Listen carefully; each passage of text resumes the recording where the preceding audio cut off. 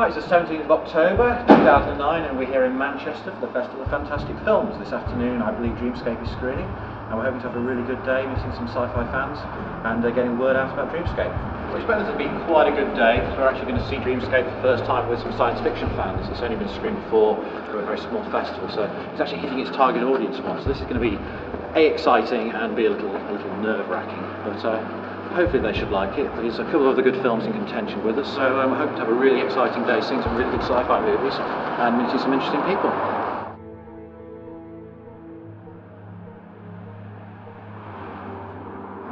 So here we are, we're at the uh, Day Hotel in Manchester, we're about to go into the Festival of Fantastic Films. Um, we're screening sometime this afternoon, so let's have a look, shall we?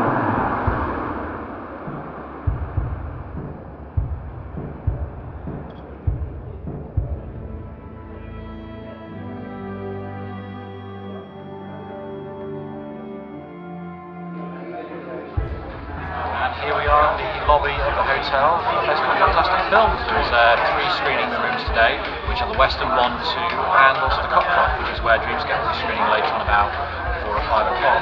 There's lots of people here. There's Derren Nesbitt from Where Eagles Dare, there's other uh, and uh, genre favourites here, so it's looking like quite a good uh, event. And uh, all we're going to do now is a little bit of mingling.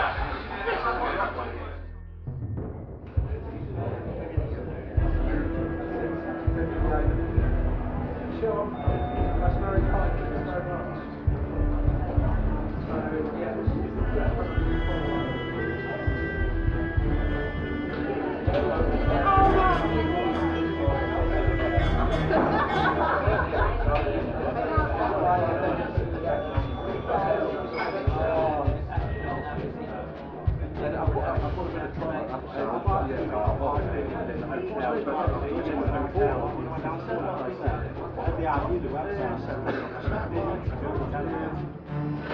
It's half past six and the screening Dreamscape is about to start, so I better go in there. There's quite a few people in. I'll see you afterwards and let you know how it went.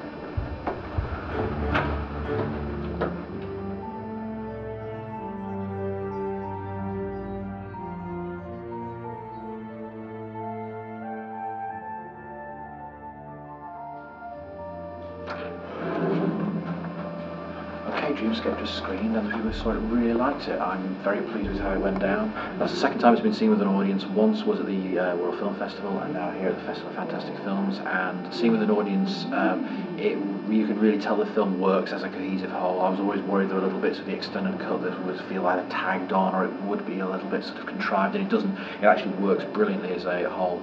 So I'm very pleased, very proud of everyone's efforts to get it this far and uh, we've had we've had a great day here. Um, the interest in the film seems to be building, so onwards and upwards, and uh, let's see if we can't get this distribution deal uh, signed in the next month or so.